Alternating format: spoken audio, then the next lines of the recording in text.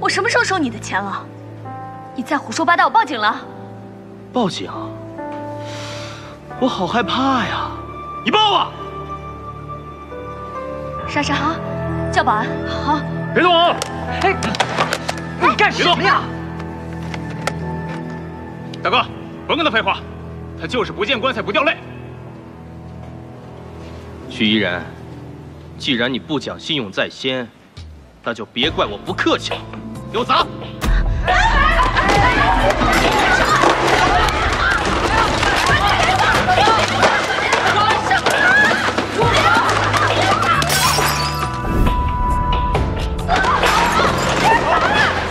干什么呀？莎莎报警。这次就是给你们一个教训，这事儿不算完。设计公司，这里这里有人打劫。对，方圆设计公司。没事吧？你受伤了？你这可是画设计图的手，疼吗？不疼。我们去医院。不用去医院，不疼。真的。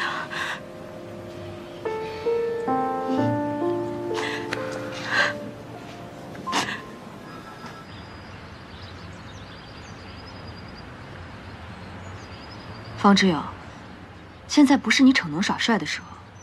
你手受伤了，你就得去看看。你的手可是整个公司的资产，容不得你这么任性。我自己的身体我自己最清楚。不过还是要谢谢你啊。行，既然你非说自己没事儿，我就不留下来讨人嫌了。我先走了。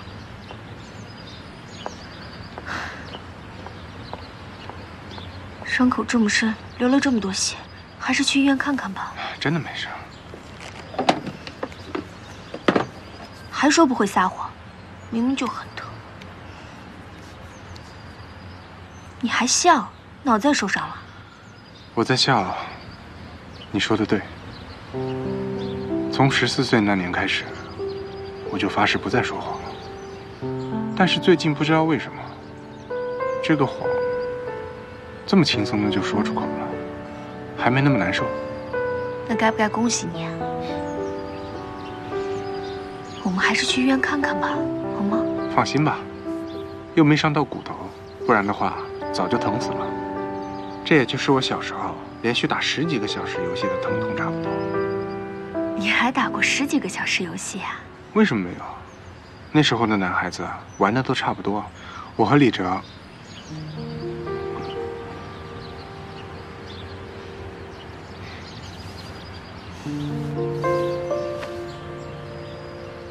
对不起。跟你又没有关系。他们本来就是冲我来的。怎么会呢？他们找的明明就是我。他们跟你无冤无仇的，为什么要陷害你啊？嗯？我也不知道。笨死了。因为你是我的女朋友啊。我会尽快把这件事情查清楚，不让这样的事情再发生。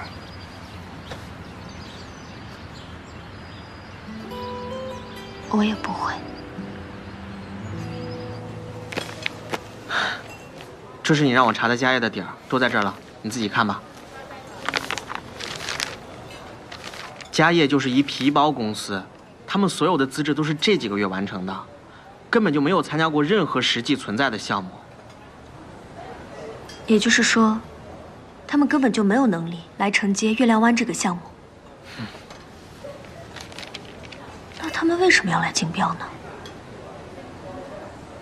除非他们根本就不是冲着项目来的，把方圆和方志友搞垮，才是他们真正的目的。你说，我男神他平时虽然爱得罪人，但谁跟他这么深仇大恨的？搞这么一个公司出来，那可不是闹着玩的，损敌一千，自伤八百。能这么做的人只有一个。你干嘛去？去找李哲。哦。喂，你自己行不行啊？走这么快？不行，我得给我男神打个电话。哎，许小姐，你怎么来了？许小姐，你有什么事吗？许小姐，哎，许小姐，你不能进去。许小姐，许小姐，是你干的，对吧？李总，我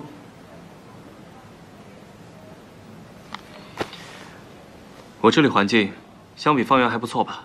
回答我，坐。我到底是哪儿得罪你了？你为什么要这么害我？现在整个公司都认为是我背叛了方圆，出卖了方之友。我不知道你在说什么。现在这没别人，你就跟我说句实话，至少让我死也死得明白吧。是不是你指使家业的谢东仁，诬陷我把其他三家的报价卖给他？你有证据啊？为什么？就算你恨方志友，可你为什么要害我呢？我现在背负着出卖公司的罪名，我在方圆根本待不下去，也没有其他的公司想要我。我不像你和方志友，没了工作我会饿死的。那你可以来大圣啊。什么？我跟你说过很多次了，大圣的门永远为你敞开。我可以保护你，我会比方志友做得更好。不可能。既然你敢做不敢当，那我也没什么好说的了。等一下，我也有一个问题要问。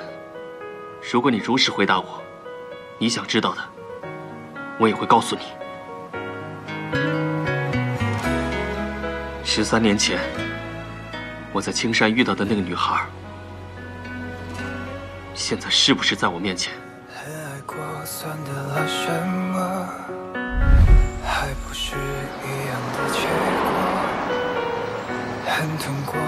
前面就是派出所了，你自己进去找警察叔叔。告诉他们你迷路了，要找爸爸妈妈，记住了吗？嗯，快去。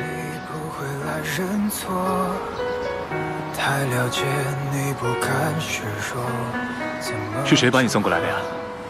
有哥哥。哦，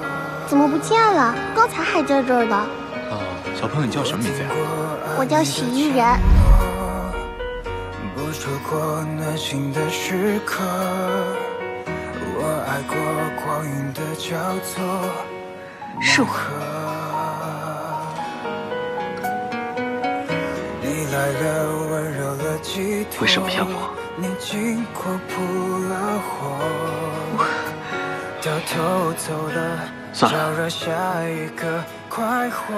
不管因为什么，我都谢谢你。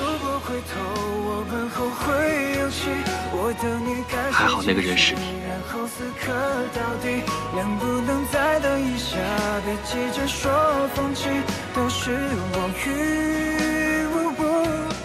那现在轮到你了，李哲。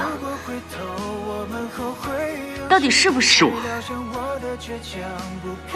是我买通了家业的谢东仁，让他参与竞标，然后再找人从你的电脑中把其他三家的报价发给家业。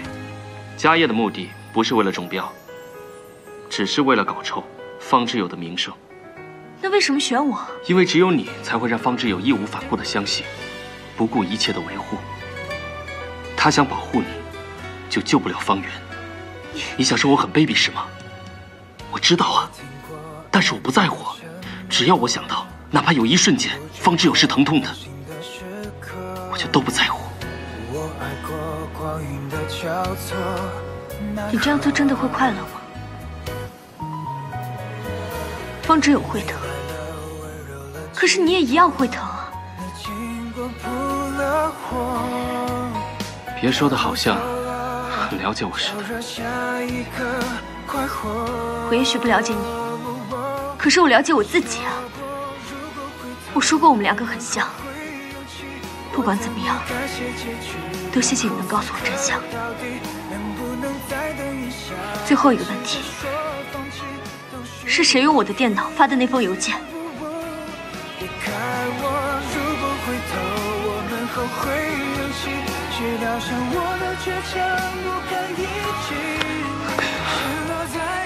如果告诉你。你是不是就想用这个揭发他？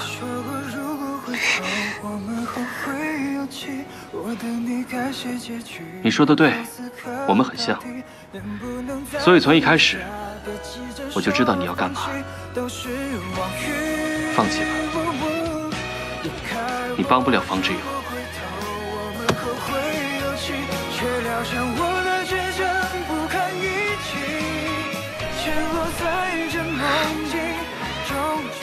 我先遇到的你。